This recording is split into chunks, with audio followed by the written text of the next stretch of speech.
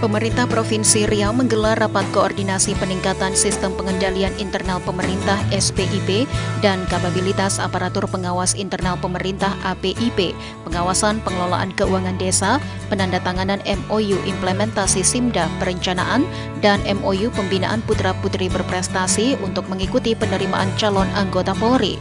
Gubernur Riau Arsyad Juliandi Rahman mengatakan sistem e-planning saat ini mulai menggunakan SIMDA perencanaan. Ini agar melanjutkan pembangunan Riau menuju yang lebih sejahtera ke depan. Rakor ini bertujuan agar Pemprov dan Kabupaten bisa bersama-sama memperbaiki APIP sehingga bisa di level yang sama. Pencapaiannya cukup besar untuk Provinsi Riau yaitu berhubungan dengan efisiensi, ekonomis, dan optimalisasi penggunaan anggaran. Ini bisa dikorelasikan dengan penggunaan dana desa. Jika menggunakan metode yang tepat maka bisa memperbaiki kesejahteraan di desa tersebut. Jika BUMDes sukses, maka ekonomi desa akan meningkat dan terbuka. Ini juga akan berpengaruh pada aktivitas di desa tersebut. Rakor ini juga melihat kemampuan masing-masing desa seperti sejauh mana ketaatan menggunakan sistem keuangan.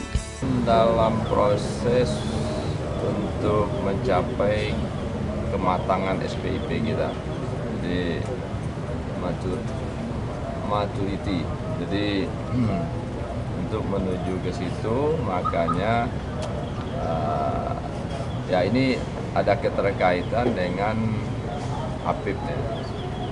Jadi uh, APIP-nya juga harus uh, meningkatkan kemampuannya sehingga uh, SPIP kita pun bisa mencapai tingkat kematangan. Jadi dua-duanya paralel untuk ditingkatkan. Nah, oleh karena itu uh, rakor hari ini dalam rangka kita uh, untuk bersama-sama provinsi dan kabupaten kota bisa sama-sama bisa memperbaiki uh, aktif dan SPIP.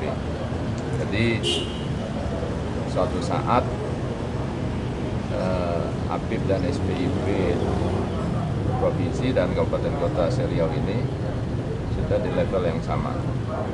Nah, dan ini pengaruhnya besar terhadap pencapaian pembangunan di Provinsi Riau secara keseluruhan dan juga di dalam kita mencapai efisiensi dan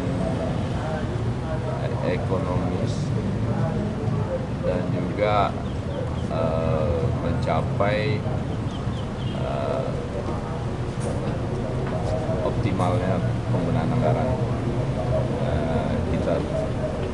Ditambahkan Gubernur Riau Arsyad Juliandi Rahman, sistem keuangan Riau sudah di atas rata-rata nasional. Sekarang tinggal kemampuan sumber daya manusia atau SDM Riau untuk meningkatkannya.